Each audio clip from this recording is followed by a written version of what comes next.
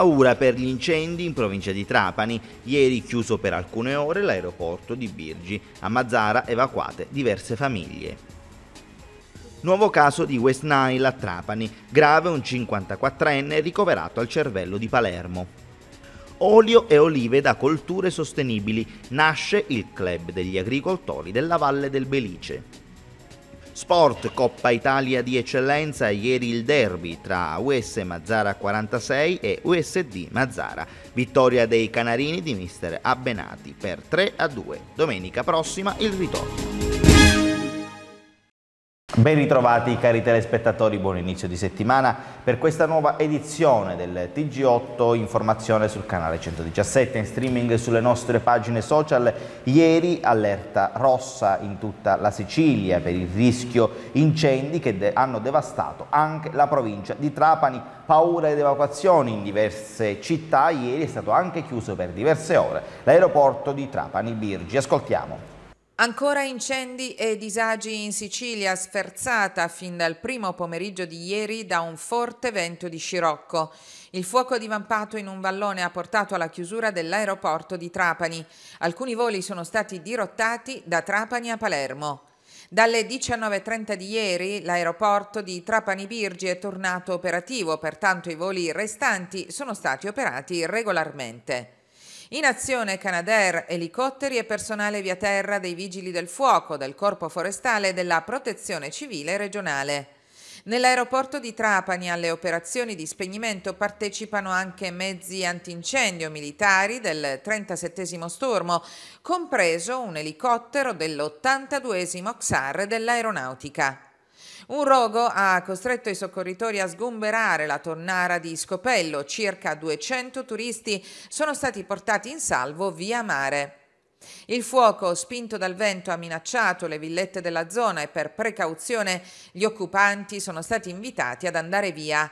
Fiamme anche vicino alla tonnara dove i bagnanti sono stati sorpresi dal fumo e poi messi in salvo dal mare. Decine di bagnanti sono bloccati con le proprie auto alle pendici del Monte Cofano sul versante di San Vito Lo Capo, dove è in corso un vasto incendio. Un incendio divampato ieri mattina ad Alcamo, complice il forte vento di scirocco e l'alta temperatura nei pressi di Corso dei Mille, alla periferia della città, e l'inizio della provinciale 55.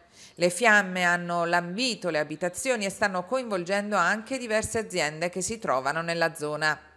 Sul posto sono intervenuti i carabinieri, la polizia municipale, i vigili del fuoco e gli uomini del corpo forestale per le operazioni di spegnimento. Molte persone che sono state evacuate per precauzione dalle proprie abitazioni. Seguo da vicino l'evolversi della situazione incendi che sta interessando la nostra regione sono in continuo contatto con la Protezione Civile regionale e nazionale, nonché con il Dipartimento Corpo Forestale della Regione Siciliana. Lo dice Renato Schifani, presidente della Regione Siciliana. Anche questa volta la nostra terra è messa a dura prova da mano criminali che si stanno macchiando di efferate condotte e il sistema sta reggendo, conclude Schifani e di questo mi sento di ringraziare di cuore tutti gli uomini e donne di qualunque ruolo e istituzione che stanno dando prova di grandissimo senso del dovere e amore della nostra Sicilia. Notte di paura nel Palermitano dopo decine di incendi divampati nel corso dell'ultima domenica di agosto. Nel corso della notte la protezione civile e i vigili del fuoco sono stati impegnati su diversi fronti di fuoco alimentati da un forte vento di scirocco. I roghi che in alcuni casi hanno minacciato case e attività commerciali hanno provocato l'interruzione dei principali assi viari. Turisti e vacanzieri hanno impiegato ore per raggiungere Palermo. Un incendio è divampato anche sulla Palermo-Mazzara del Vallo, costringendo gli automobilisti a uscire allo svincolo di Balestrate e percorrere la statale fino a Partinico. Fiamme anche lungo la Palermo-Agrigento nella zona artigianale di Villa Abate, roghi anche sulla Palermo-Sciacca e nella zona di San Giuseppe Iato. Anche qui sono state impegnate per diverse ore le squadre antincendio. Ma anche a Mazzara del Vallo vi è paura per gli incendi che fino a questa notte hanno distrutto ettari di terreno e lambito diverse abitazioni con alcune famiglie che sono anche state costrette a lasciare le proprie abitazioni. Abbiamo raggiunto telefonicamente il sindaco della città, il dottor Salvatore Quinci, e ascoltiamo la sua dichiarazione. Eh, eh sì, ieri Mazzara, come tutto il territorio di Trapani, ma in realtà della Sicilia, è stata interessata da una serie di incendi. Purtroppo la temperatura e il vento favorevole hanno eh, favorito eh, eh, lo svilupparsi di questi incendi che hanno interessato praticamente tutto l'arco della giornata a partire dal primo pomeriggio, cioè dalle ore più calde. Prima un incendio in, eh, in Contrada Miragliano, poi alla, in, nel pomeriggio un incendio in Contrada Boccarena, in via del Fenicottero e via Greppio e infine in via dell'Unità Europea quasi all'incrocio con la via Lozano. In tutte queste situazioni si è verificato l'incendio di terreni che erano stati lasciati incolti dai proprietari, nonostante la mia ordinanza che imponeva a, eh, ai proprietari dei terreni di bonificare l'aria proprio al fine di prevenire queste situazioni. Per fortuna non ci sono, state, non ci sono stati danni a persone e a cose ma diverse famiglie in via precauzionale hanno dovuto lasciare le proprie abitazioni fin quando gli incendi non sono stati tutti spenti. E l'altra cosa che abbiamo dovuto registrare, purtroppo, da una parte, è che il comando dei vigili del fuoco non è potuto intervenire perché si era spostato in maniera emergenziale e con tutte le proprie risorse nella zona di Scopello dove un incendio di vastissime proporzioni e molto pericoloso ha interessato quell'area. Per cui si è potuto risolvere queste situazioni grazie all'intervento dei volontari. Io li voglio ricordare tutti, l'Associazione dei Vigili del Fuoco in Congedo, l'Associazione di Protezione Civile Trinacria, spero di non dimenticarne altri, e grazie all'aiuto dei tanti cittadini che sono intervenuti, chi mettendo a disposizione il proprio pozzo, chi dandosi da fare per eh, circoscrivere eh, le aree e delimitare le aree e quindi mettere al sicuro i, i nostri concittadini e soprattutto grazie anche al personale del ehm, comune di Mazzara del Vallo che è intervenuto con le autobotti fornendo eh, un servizio che non è proprio di competenza nostra, quindi in qualche modo un servizio che non è, può essere adeguato come quelli dei vigili del fuoco, che sono quelli titolati a spegnere gli incendi.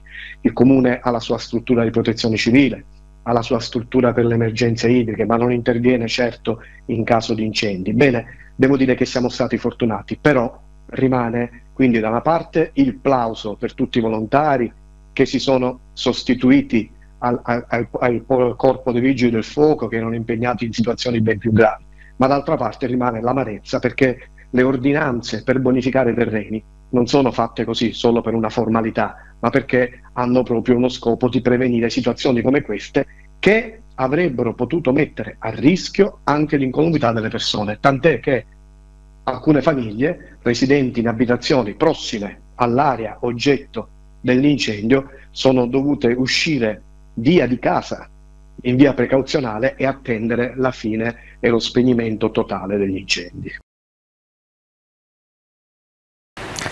Nel territorio del Parco Nazionale Isola di Pantelleria prosegue l'attività di sorveglianza svolta dai carabinieri forestali per la tutela del patrimonio naturalistico.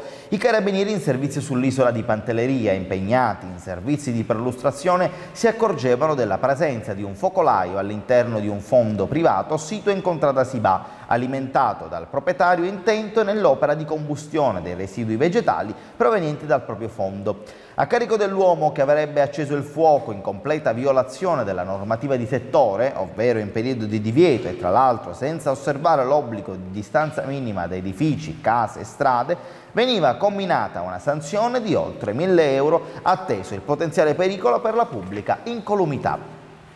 I carabinieri della stazione di Borgo Annunziata hanno ritrovato una minorenne che da alcuni giorni si era allontanata dalla sua abitazione in Belgio, dalla quale la madre aveva denunciato la sua scomparsa. La famiglia originaria di Trapani e residente in Belgio, dopo la scomparsa della ragazza ha subito attivato le ricerche, non tralasciando la possibilità che la minorenne sarebbe potuta giungere a Trapani, visto che per lei è un posto conosciuto e dove avrebbe potuto trovare l'appoggio di qualche parente o amico. A seguito delle ricerche durate tre giorni, i carabinieri, unitamente allo zio che disperato si era rivolto a loro, l'hanno rintracciata nel centro storico di Trapani nei pressi di Lazzaretto. Costante, costanti sono le buone condizioni di salute e dopo aver avvisato i genitori la giovane è stata affidata allo zio materno in attesa dell'arrivo dal Belgio della sua famiglia. Ma continuiamo con la cronaca, aggravamento di misura cautelare per un minorenne di Trapani che è stato trasferito in una comunità. Ascoltiamo. I carabinieri della compagnia di Trapani hanno arrestato in esecuzione di un'ordinanza di aggravamento di misura cautelare emessa dal Tribunale per i minorenni di Palermo un ragazzo che è stato collocato in comunità. Il giovane era stato arrestato lo scorso mese di luglio dai carabinieri che durante il controllo dei soggetti sottoposti a misure cautelari lo avevano sorpreso nascosto all'interno di un locale caldaia pertinente l'immobile mentre confezionava sostanza stupefacente. In quell'occasione, secondo i carabinieri, il minorenne era stato trovato in possesso di circa 30 grammi di crack, 25 di hashish e circa 700 euro in banconote di vario taglio e per il ragazzo era stato disposto dall'autorità giudiziaria l'obbligo di permanere a casa dei genitori. I carabinieri pertanto hanno continuato a seguire i movimenti del giovane e ritengono che lo stesso abbia ripetutamente violato le prescrizioni del giudice che, valutati gli elementi raccolti dai militari dell'arma, ha deciso di disporre la collocazione in comunità. Nel fine settimana appena trascorso i carabinieri della sezione radiomobile di Trapani durante un servizio notturno sono stati chiamati ad intervenire in aiuto ad una donna che alle tre di notte ha fermato l'equipaggio in centro storico per denunciare la scomparsa del figlio minore e che l'ultima volta l'aveva visto in via Garibaldi. Con in possesso un'accurata descrizione del ragazzo e dei vestiti indossati, i carabinieri si mettevano subito alla ricerca coinvolgendo tutte le pattuglie in circuito. Avendo anche il numero di telefono del cellulare in suo possesso, i militari tentavano di contattarlo non ricevendo mai risposta. In collaborazione con la centrale operativa si provava a localizzare l'apparecchio e dopo circa 45 minuti rintracciavano il minorenne nei pressi della scuola media Simone Catalano affidandolo alla madre che ringraziava sentitamente i carabinieri. Arrestato per il furto commesso in un bar un pregiudicato al Camese in atto sottoposto alla misura degli arresti domiciliari. Il servizio. Nella tarda mattinata dello scorso 5 agosto, personale della sezione investigativa del Commissariato di Pubblica Sicurezza di Alcamo ha tratto in arresto un pregiudicato di 40 anni. L'uomo, sottoposto alla misura cautelare degli arresti domiciliari, si era reso responsabile del reato di evasione di furto aggravato consumato la notte dello scorso 27 giugno in un noto bar del centro. Dall'attenta visione dei filmati registrati dal sistema di videosorveglianza dell'esercizio pubblico oggetto dell'azione predatoria e dal sistema di videosorveglianza comunale si è pervenuti all'identificazione del pregiudicato quale autore del furto. Il pregiudicato alcamese, già sottoposto a misura cautelare nel decorso mese di luglio, è salito agli onori della cronaca giudiziaria per essere evaso per ben due volte nella stessa nottata dal domicilio detentivo, giustificando la sua scelta quale atto di esasperazione a seguito di accesi diverbi familiari intervenuti con la moglie. Valutata la gravità dei fatti, il Tribunale di Trapani ha sostituito la misura cautelare degli arresti domiciliari con quella più grave della custodia in carcere. Una donna di 55 anni sabato scorso a bordo di una Renault Clio ha percorso l'autostrada Palermo-Mazzara del Vallo contromano per 10 km. Tante le telefonate degli automobilisti che si sono visti arrivare l'auto di fronte in autostrada. Gli agenti della polizia stradale sono riusciti a bloccarla. La donna è stata poi ovviamente multata. L'episodio è stato segnalato alla prefettura per la revoca della patente. La donna stava tornando a casa dopo il turno di notte, non si è accorta di aver imboccato l'autostrada contromano che stava percorrendo in direzione Trapani. Le prime telefonate sono arrivate quando l'automobilista è stata incrociata nelle zone delle gallerie. È stata bloccata all'altezza dell'aeroporto di Palermo. Parliamo di Matteo Messina Denaro, il super boss ex latitante non può tornare in carcere e per ora però deve restare in ospedale all'Aquila. Ascoltiamo. Anche se le condizioni sono migliorate, rimane nel reparto di terapia intensiva dell'ospedale San Salvatore il boss mafioso Matteo Messina Denaro, ricoverato dall'8 agosto scorso per il peggioramento dello stato di salute e per essere sottoposto ad intervento chirurgico per una occlusione intestinale che è perfettamente riuscito. Tutto ciò, come emerso da fonti sanitarie e carcerarie, in seguito a valutazioni sulle condizioni di salute del boss, affetto da un tumore al colon in stadio avanzato, che attualmente non sarebbero compatibili con la detenzione in carcere. Finora, per i medici che sono in contatto continuo con le autorità, il 61enne ex superlatitante rinchiuso dal 17 gennaio scorso in regime di 41 bis nel carcere di massima sicurezza dell'Aquila necessita ancora di ricovero ospedaliero ma nei prossimi giorni potrebbe essere trasferito nel reparto per detenuti nello stesso San Salvatore oppure nell'infermeria del carcere. La gestione della malattia del boss è centrale in questi giorni. La situazione viene continuamente monitorata da istituzioni sanitarie e dello Stato, soprattutto alla luce di quanto si è appreso. Infatti era già stato programmato il trasferimento nello spazio con cella realizzato al piano terra al posto della piccola stanza al primo piano utilizzata in passato ma il boss avrebbe manifestato una netta contrarietà con la ipotesi di inscenare addirittura proteste, tanto che per ora è stata confermata la permanenza in TI, un reparto normale nel quale è sorvegliato a vista da decine di rappresentanti delle forze dell'ordine. Nelle passate settimane gli avvocati di Matteo Messina Denaro avevano annunciato la presentazione di una istanza di scarcerazione per l'aggravarsi delle condizioni di salute collegate al tumore al colon. I carabinieri della compagnia di Partinico hanno arrestato due persone quarantenni per detenzione ai fini di spaccio di sostanze stupefacenti. Nel corso delle perquisizioni in casa degli indagati, i carabinieri del nucleo operativo e radiomobile hanno trovato complessivamente 26 kg di marijuana. In casa di uno degli indagati sono state trovate 8 buste di un chilo ciascuna Nell'altro appartamento 18 buste, anche queste con dentro un chilo di marijuana per ciascuna. Il GIP di Palermo ha convalidato gli arresti disponendo i domiciliari con il braccialetto elettronico. Entrambi gli indagati percepivano il reddito di cittadinanza e pertanto sono state avviate le procedure per l'immediata sospensione del beneficio. Ma parliamo di sanità, nuovo caso di West Nile a Trapani è grave, un 54enne ricoverato al cervello di Palermo. Il servizio. Si trova ricoverato in ospedale a Palermo un 54enne trapanese che ha contratto nelle scorse settimane il virus da West Nile. L'uomo, si tratta di un soggetto fragile, come confermano dall'ASP di Trapani, nelle scorse settimane ha cominciato ad accusare malessere e febbre molto alta. Si sarebbe recato anche al pronto soccorso di Trapani, ma da lì il successivo ricovero al cervello di Palermo, dove l'uomo, che ha una pregressa situazione di immunodepressione, verserebbe in gravi condizioni.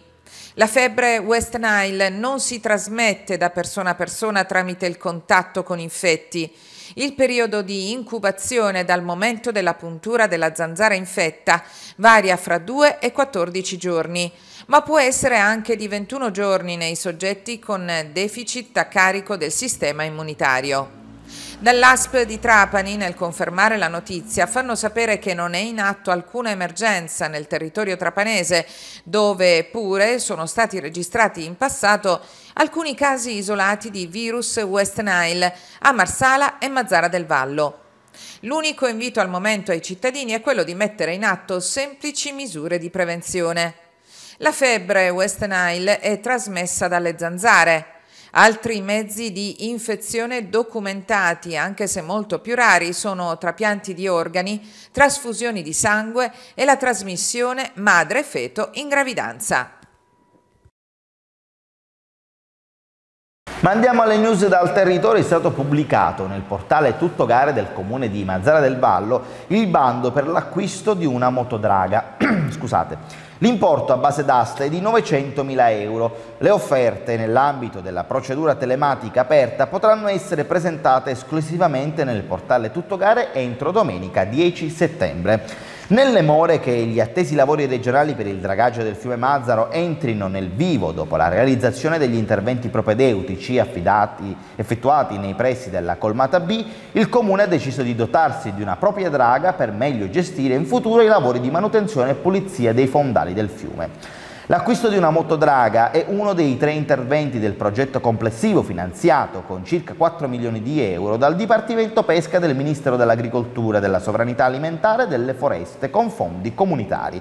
Sono già stati avviati gli altri due interventi previsti dal progetto, la riqualificazione del complesso immobiliare ubicato in Piazzetta dello Scalo, ex mercato ittico, da adibire a sala, per la vendita all'asta del pescato e i lavori per la ristrutturazione, adeguamento e riqualificazione delle infrastrutture portuali e di parti delle banchine e approdi del porto peschereccio di Mazzara del Vallo. Olio e olivo da colture sostenibili. In provincia di Trapani nasce il club degli agricoltori della Valle del Belice. Ascoltiamo. Coltivare in modo sostenibile, sviluppare linee guida comuni nei trattamenti degli ulivi e nella commercializzazione in modo da aiutare a creare un futuro migliore per gli agricoltori della Valle del Belice. Con questi obiettivi è stato presentato sabato scorso nelle aziende agricole Asaro di Marinella di Selinunte il club degli agricoltori del Belice, la prima aggregazione di coltivatori che parte da un'iniziativa dal basso. L'idea è partita da Tommaso Asaro delle omonime aziende agricole, originario di Partanna. La sua famiglia da più di 100 anni esporta olio e olive in America, promuovendo il belice e la tipica cultivar nocellara che si produce solo in questi territori. Da febbraio l'azienda collabora con Starbucks, la catena internazionale di caffetterie fondata a Seattle nel 1971. Proprio Starbucks ha lanciato le bevande oleato che riuniscono un'inaspettata alchimia di caffè arabica Starbucks, infuso con olio extravergine di oliva partanna. L'impegno è quello di camminare insieme, condividere le scelte e soprattutto adottare metodologie comuni che abbiano una ricaduta sociale di sviluppo per il territorio, ha detto Asaro presentando il club degli agricoltori davanti ad oltre 300 produttori. La cultivar nocellara del Belice, da cui si produce anche l'olio Evo, è per noi una risorsa vista l'unicità di produzione come territorio il club ha come obiettivo quello di valorizzarla, iniziando da chi la coltiva. I punti di forza del club sono qualità, sviluppo sociale e produzione. Nelle scorse settimane si sono svolti diversi incontri con agricoltori, produttori e agronomi provenienti dai paesi trapanesi di maggiore produzione, Partanna, Castelvetrano, Campobello di Mazzara, Santa Ninfa, Salaparuta e Poggio Reale. Bisogna eliminare ogni forma di campanilismo, solo facendo squadra si può vincere, ha detto l'assessore regionale all'agricoltura Luca San Martino. Momenti come questi rappresentano occasioni anche per il governo per migliorare le infrastrutture nella nostra isola. La Regione è pronta a prendere impegni nel campo della formazione, ha aggiunto l'assessore regionale Mimmo Turano, a investire laddove necessario nella Valle del Belice. Questa è un'opportunità straordinaria per il territorio. Questa sera alle ore 21 presso l'atrio del plesso scolastico di Santa Caterina Mazzara del Vallo verrà proiettato il film documentario Nelle scarpe di mio padre. Il film è stato realizzato con il sostegno della Sicilia Film Commission, l'Università Roma 3 e il Comune di Mazzara del Vallo che ha coinvolto la comunità mazzarese tunisina presente a Mazzara. Il documentario Nelle scarpe di mio padre è il racconto di quel tratto di mare, il canale di Sicilia, tra immigrazione ed emigrazione tra la Sicilia e la Tunisia. Alla proiezione saranno presenti il regista, i produttori, i componenti dell'equipe produttiva, l'attore e doppiatore Tony Garrani, voce narrante del documentario e l'attore mazzarese Vito Baldini, interprete della Maschera di Giuffà, che insieme al sindaco della città Salvatore Quinci daranno il benvenuto, il benvenuto a tutti i partecipanti dell'evento. Ma a proposito di spettacolo, successo di pubblico e tanta allegria a Torretta Granitola per la quattordicesima edizione del Carnevale estivo. Successo di pubblico per la quattordicesima edizione del Carnevale estivo a Torretta Granitola. Tantissime persone sabato sera hanno infatti letteralmente invaso la borgata marinara, riempiendo piazze, strade e locali e coinvolgendo tutti in un'atmosfera di grande festa. La manifestazione è stata promossa dall'amministrazione comunale di Campobello di Mazzara con il patrocinio della regione siciliana e con la collaborazione della Proloco Costa di Cusa e dell'addetto all'organizzazione degli eventi Nino Centonze. La parata ha visto in testa il sindaco Castiglione, l'assessore comunale allo spettacolo Gianvito Greco e Nino Centonze, al cui seguito hanno sfilato diversi gruppi mascherati, accompagnati da bande musicali in un vero e proprio tripudio di allegria e di colori. Special guest della serata sono stati invece i DJ Alex, l'UDJ e Maximino X1 che durante tutta la manifestazione hanno fatto ballare la piazza con le hit del momento. Siamo davvero soddisfatti, dichiarano il sindaco e l'assessore greco della risposta del pubblico, che ha nuovamente decretato il successo di questa manifestazione a cui ci sentiamo profondamente legati. Sarà nuovamente operativo a Marsala l'autovelox posizionato sulla strada statale 115 Marsala-Mazzara. Lo rende noto il comando della Polizia Municipale di Marsala che al riguardo ha emanato un apposito provvedimento di riattivazione dal prossimo 4 settembre del dispositivo di controllo elettronico della velocità. Lo scorso febbraio l'attività del dispositivo era stata sospesa su richiesta del sindaco Massimo Grillo, ritenendo prioritario un piano complessivo di sicurezza stradale nel territorio, nonché la necessità di dare maggiore evidenza alla funzione preventiva e non repressiva del dispositivo, anche con il potenziamento della segnaletica. Fermo restando che il dispositivo di rilevamento della velocità ha il solo fine di indurre a moderare la velocità, principale causa di incidenti stradali, taluni anche mortali, si ribadisce che l'autovelox sarà operativo sulla statale 115 anche nelle ore serali e notturne in entrambe le direzioni di marcia. Ieri sera grande successo a Mazzara per la prima edizione della Festa del Pescatore quattro chef si sono alternati sul palco di Piazza Plebiscito per la realizzazione di quattro ricette realizzate con pescato locale. Il pubblico ha avuto l'opportunità di gustare direttamente sul posto le creazioni culinarie. Protagonisti della serata sono stati gli chef Vito Russo, accompagnato dal barman Francesco Margiotta, lo chef Michele Ritondo, la cicuoca Vita Maria Galfano, ed il mastro cuciniere Peppe Giuffre. Lo spettacolo è stato presentato da Stefania Renda ed intervallato dalle divertenti performance del cabarettista palermitano Chris Club. La festa del pescatore coincide con l'avvio del progetto Blockchain Mare Nostrum. Ascoltiamo le interviste. Sì, Blockchain Mare Nostrum è un progetto transfrontaliere Italia-Tunisia. Io sono membro dell'ATS Mare Nostrum insieme alla cooperativa Tramontana.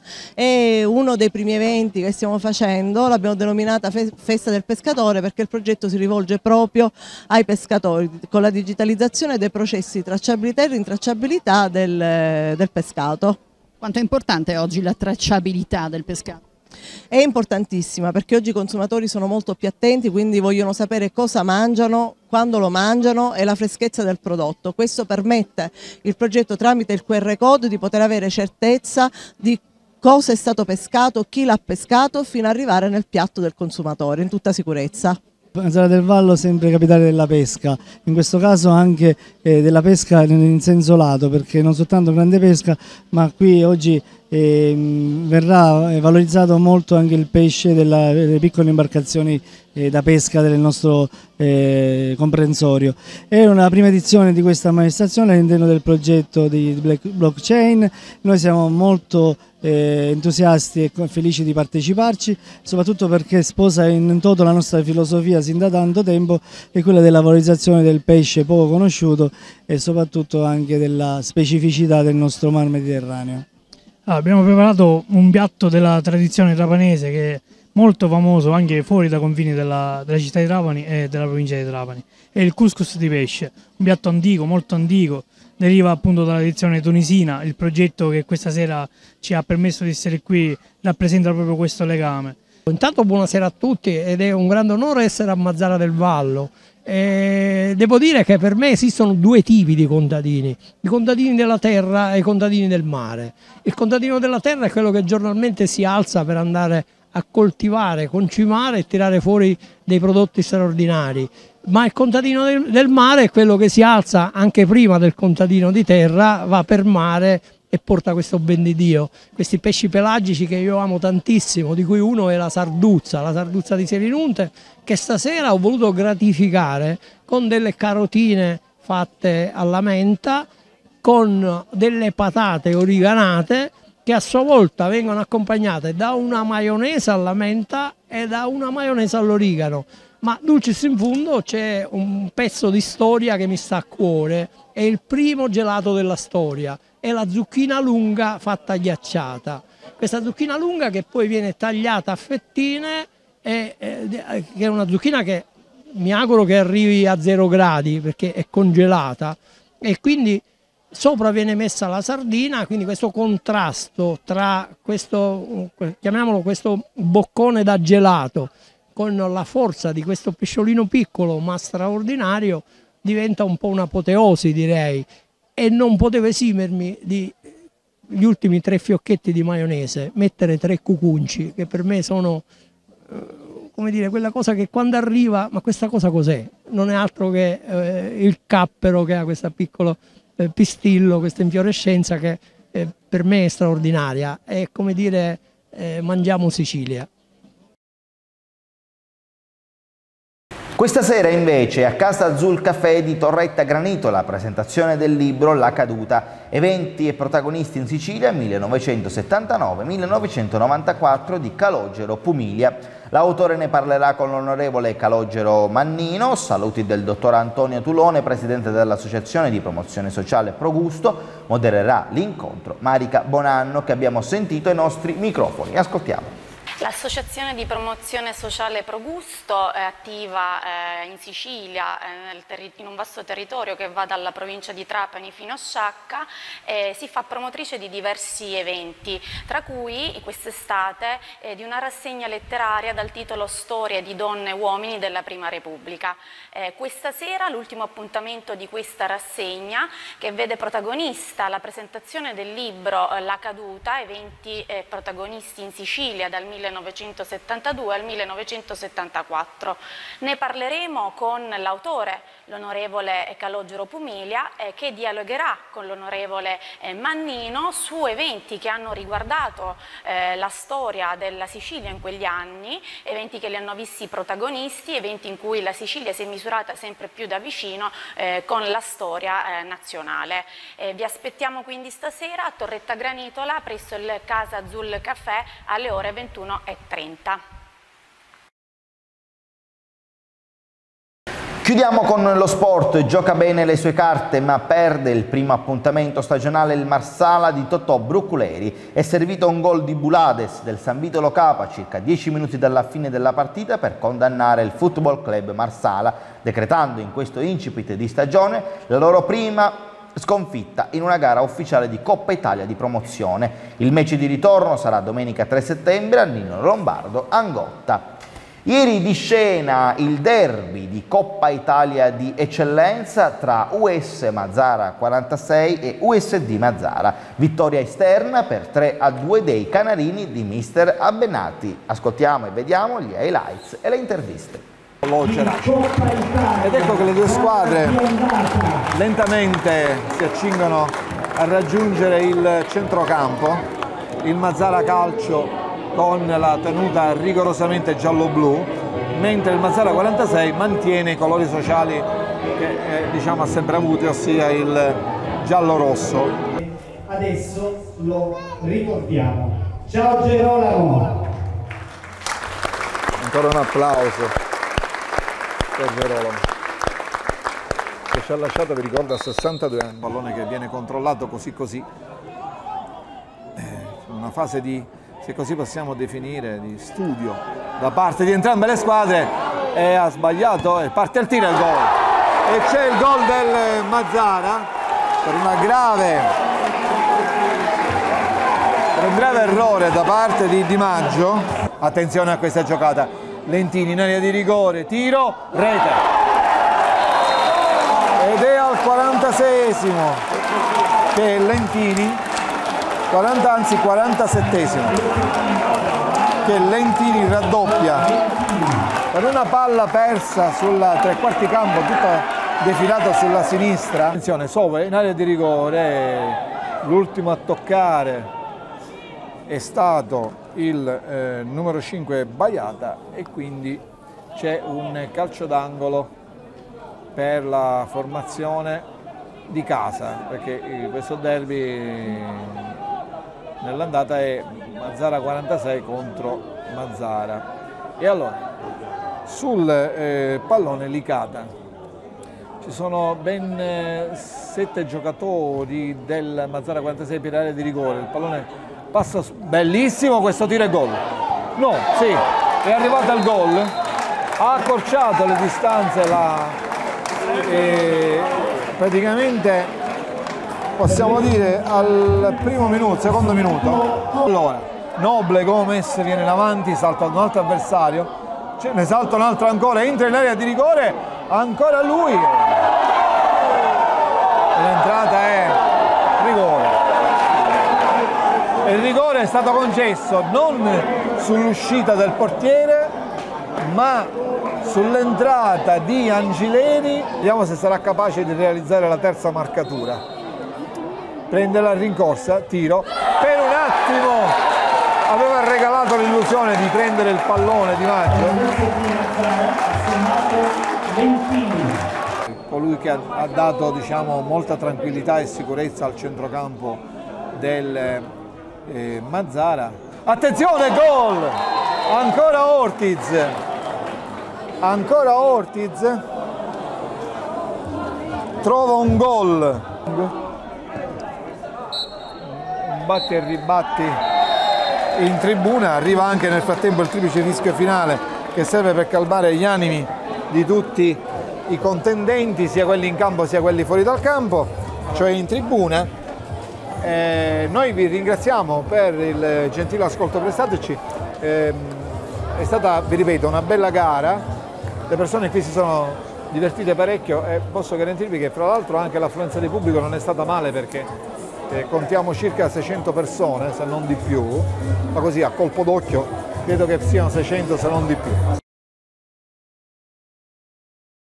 Ben detto, è un risultato importante, poi tutto il resto da cancellare per quello che ho visto, perché realmente non mi è piaciuto niente.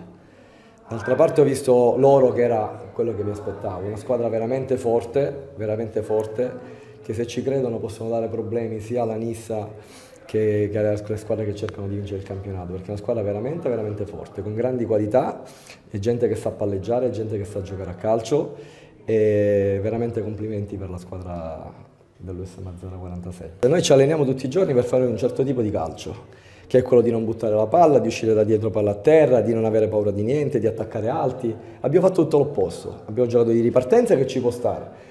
Però il problema è uno, quando ho la palla sui piedi devo dare un po' di qualità e invece non posso dopo due passaggi perdere sempre la palla e rischiare di prendere ripartenza.